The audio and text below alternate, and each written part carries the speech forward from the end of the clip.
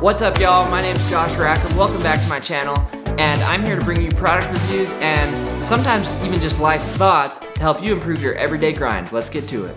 Today we're taking a comprehensive look at the Gunner G1 crash tested dog kennel.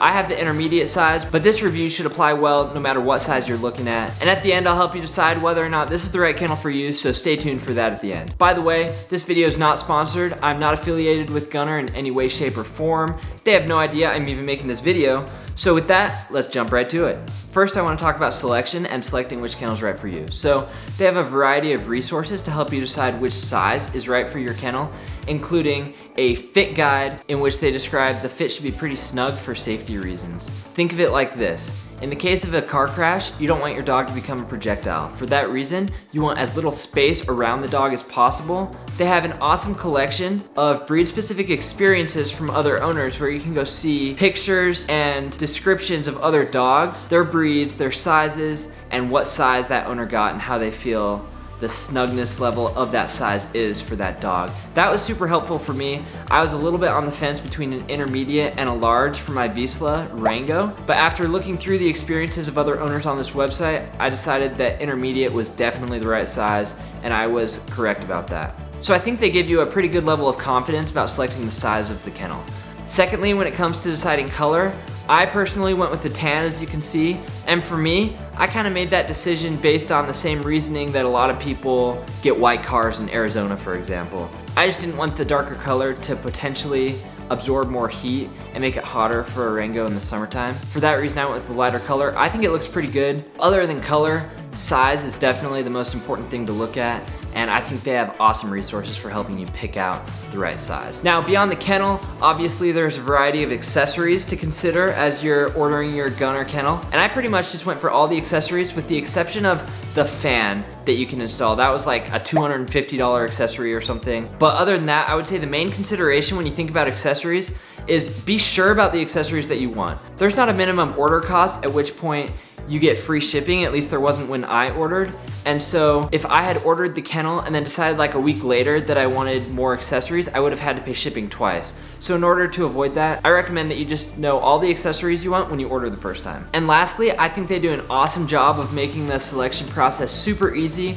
with their online appointment scheduling. Now, obviously the checkout process was super easy. I used Apple Pay and come on, it doesn't get easier than that. But then after ordering, I also thought that the shipping was lightning fast. I think it got to me here in the Mountain West region in like three days or something, which was thrilling to me because I'd been contemplating this for months and didn't want to wait two weeks on shipping. Now obviously when you get the kennel, it comes disassembled. I thought that the assembly wasn't too bad, although it was a little bit more cumbersome than I expected. Honestly, I thought the instruction guide was maybe just lacking in a little bit of detail or intuition, and I personally think that I might have gotten an outdated instruction manual, which was a little disappointing. I just remember there being one or two details that weren't exactly as they should have been. That's a little bit nitpicky. Obviously, it's not that crazy to figure out and it fits together really tight, so just keep that in mind. You'll need some good tools. But honestly, at the end of the day, I would say let's give Gunner the benefit of the doubt because I think I was probably in a little bit of a rush to put it together and that probably was to my detriment.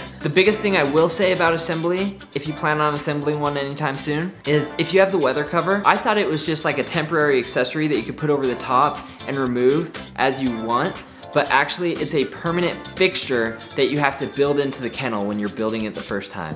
All right, so you have your kennel put together, it's assembled, it's ready to go, you're ready to load it in the back of your car, truck, whatever it is, and obviously it looks exceptional. First and foremost, let me address the issue of straps. They have those cool orange straps. I thought they looked really sick on the website. Got them in the back of my truck and it just wasn't the look for me. So I ended up going with the black straps. I think I have a picture that I can upload to this video. And there you can see the orange straps as compared with the black straps that you see in the video. Now secondly, let me address the elephant in the room. That is the $30 nameplate. I'm sure this is a divisive topic. Some people I'm sure will be like, why would you spend $30 on a nameplate for your dog? But honestly, I personally just think it looks a little bit maybe not dumb, but maybe a little bit lackluster without the nameplate. So I mean, if you're gonna spend the, I don't even know how expensive they are anymore, like was it, six or 800 bucks for a kennel? Spend the $30 on the freaking nameplate. I mean, come on. It's awesome, it looks great. Now, all that being said about how awesome this kennel looks, we don't hunt with our dog. he's just a family dog, but we travel with him everywhere. We're always going to dog parks, we're always taking him on road trips to visit family, things like that. And for some reason, this kennel feels and looks like a little bit overkill. And I mean, I guess I kind of get it. Most people with regular family dogs don't have a $700 kennel that swallows the back of their truck bed at all times. But for me, it's a safety thing and it's a convenience thing. And I'll talk more about that at the end when I talk about, you know, the kennel considerations if it's right for you. But I pretty much have that thing in the back all the time since we use it multiple times a week and it was totally worth it for us. So all that being said, just be prepared to garner some extra attention with this kennel. And if you're all right with that, I mean, it looks really good, so just own it. With regard to using the kennel, I just couldn't be happier with it. I think it works exactly as advertised. The weather cover works awesome. It keeps all the moisture out, even if it's pouring rain, even if it's snowing sideways. It keeps our dog Rango nice and dry inside the kennel. And honestly, I wouldn't do without it. The other benefit of the weather cover is I've noticed that it actually keeps the inside of the kennel warmer, as you would expect, when you keep all the flaps down during the wintertime. It is double roto molded, and so that extra gap in there, I have noticed, as you can see in other YouTube videos, actually does really help regulate the temperature. The other thing I will say about the weather protector is I didn't notice till after I had it assembled that it came with the webbing routed backwards through the plastic hardware and so that was pretty inconvenient. But as far as temperature regulation and weather protection goes, I think the kennel does an awesome job. You'll also notice on the weather cover that the top is starting to fade a little bit. Of course, I leave it out in the sun all day, every day. That's to be expected. Also, that won't be as much of an issue for you if you're able to park your car or your truck in the garage, by the way. What's up? As I was editing this video, I was on the Gunner website and I noticed that they released an all-weather kit 2.0 that was released specifically to address this issue of UV fading on the all-weather kit, which is awesome since that's one of the main complaints that I had about it. If I end up replacing it, I'll definitely be getting the second version. If any of you have it, let me know how it is. Other than that, kudos to Gunner and let's get back to the video. Now I know I've said I love the weather cover, but I love all the accessories that came with it, including the mat that I got. I know there's a couple different ones. I got the harder one. It's honestly been perfect. It's a lot lighter weight than I thought. It's kind of a plasticky, lightweight material, not so much like a heavy duty rubber material, but I've had zero issues with it. Without a pad of some sort in the bottom, it's just kind of that slippery plastic and I know that wouldn't be very comfortable for my dog, so I highly recommend you get something to put in the bottom. Even with having to spray it off multiple times from the mud and him chewing bones in the back and things like that, I've had zero issues. That mat in the bottom still looks good as new. Now you'll notice there's also a plug that you can remove from the back which makes it super easy to drain water, which is super good for me. I haven't really had water buildup in there even when my dog goes in there wet, but what I have used it for is when I spray it out to clean it and it works perfectly for that. You'll notice there are two latches, one on the top, one on the bottom of the kennel door. For people with really strong dogs or dogs who really try to escape their kennels and bend the doors out on the top and bottom or things like that. Now, in recent months, I've had to stay with my dog in questionable areas as we've traveled together, and he wasn't able to stay inside my room with me, and this lock on the front has been a game changer.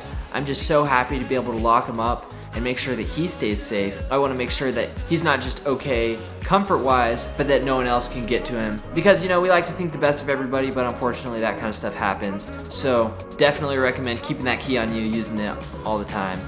Now the other thing on the kennel that gives me great peace of mind is I spent the extra money and got the security loop accessory that goes on the back. The only way to steal my dog at this point is if you have, you know, some serious cutting ability or if you steal my entire truck. And you know, on top of locking my dog in the kennel and locking the kennel to the truck, I also keep an air tag in my truck. So, you know, hopefully I'll always be able to recover my dog. I have backups on backups. And I just love that the Gunner kennel enables us have this sort of peace of mind. Now, as you can see with the Gunner security loop, I have my own like nylon coated braided cable that I've had to, you know, loop at the ends and fasten in my own way. I don't think Gunner needs to sell padlocks. I'm gonna amend that statement. I do think they should sell padlocks, and I think they should sell padlocks that are the same lock as the lock on the front of the kennel, and they should sell them in sets. I think they should sell a padlock with every kennel that comes with a security loop so that you can have one key on your key ring instead of two. Anyway, Gunner, if you're watching that, that's my piece of feedback for today. Uh, other than that, let's get back to the video. I don't think I'll interrupt anymore. I don't think Gunner needs to sell padlocks, but I do wish that they sold the actual tether mechanism so that I didn't have to build this thing myself. Uh, as you can see, you know, the plastic at the end is maybe getting a little janky, things like that. They have pretty much everything else that you could need, so I don't know why they're not selling this, but maybe just an idea for the future if anyone from Gunner's watching this. Other than that, I love all the security features of this kennel, and it's been a game changer for me. These are just some of the details that make this kennel perfect for me. I think the only other gripe that I have with this kennel is the latch on this kennel is a little bit stiff. So as you can see here, if the door on the kennel is closed all the way, but just hasn't latched yet, it takes a lot of effort to push it the rest of the way and latch it all the way shut. You either have to start with it wide open and slam it shut, or if you have it almost all the way closed, you can pull the handle, push the door in, and then close the handle. In the grand scheme of things, it's a small gripe for an awesome kennel, but just something that I thought was worth noting. Final detail that I just think is really perfect on this kennel is the handles that come on the top. These handles are perfect and super comfortable for being able to carry it yourself if you have to, although it's pretty heavy duty. So I recommend just carrying it with another person. Makes it a lot easier. But the handles on the top are just another detail where you can see that Gunner really paid attention to every little detail of this kennel and made it an awesome experience from loading and unloading to the experience that your dog has in the kennel itself. So lastly, I wanna give you my thoughts on whether or not this is the right kennel for you. But before I do that, please take a minute to like this video and subscribe to my channel if this video has been helpful. And with that, let's move on to my last point. So first I wanna tell you why I got this kennel. I got this kennel because my wife and I have this awesome truck which we love. Rango's been sitting in the back on a blanket and honestly there were a couple issues with this. First of all, I knew this wasn't the safest for my dog, and we could have gotten one of those big hammock things, but then your back seat is totally taken up by this hammock. And so that wasn't a great option for us, especially when my wife got pregnant. Then we knew we'd have a baby in the back seat, so Rango would either have to sit in the front with us or be in the bed. Also, just the shedding in the truck was becoming untenable we were just so sick of having dog hair everywhere since he was in there all the time. You know, no matter how brushed you keep him, he's still gonna leave a little bit of hair behind. And so for that reason, we figured out that the Gunner Kennel was gonna be right for us. Um, is it gonna be right for you? Well, that depends on a couple factors. First of all, if you're a hunter or you have a working dog that goes with you all the time everywhere, it's probably a no-brainer. But secondly, if you're like us and you have a family dog that goes with you everywhere, if you have the space, it's a great investment. Also, if you're concerned with car cleanliness, I think that it's a great option for people who want to keep their dog safely contained, but also keep the shedding to a minimum. It really works well for us to mitigate that issue as well. Now, the other thing I will say is I think it's a lot less likely to be the right kennel for you if you have a very small dog. There are probably unique circumstances in which it is right for a small dog to have a gunner kennel, but for the most part, I would say for the traveling mid to large size dog, this is an awesome option. I highly recommend it. I give the Gunner 5 out of 5. I don't have any other high-end kennels to compare it to. But as a family dog owner who travels with his dog all the time, everywhere, you know, parks 45 minutes away, hikes in the mountains, uh, family road trips, etc. I couldn't recommend it enough. So with that, that's pretty much it from me guys. Hopefully you've enjoyed this video. Hopefully this has been helpful to you if you're looking at Gunner Kennels. Also, I'd love if you could leave me a comment below. What is driving or has driven you in the past towards a Gunner Kennel or away from a Gunner Kennel? Is there anything you think I missed? So with that, I can't sign off without, uh, you know, a horrible dog pun. So I hope you have a doggone awesome day and we'll catch you in the next video.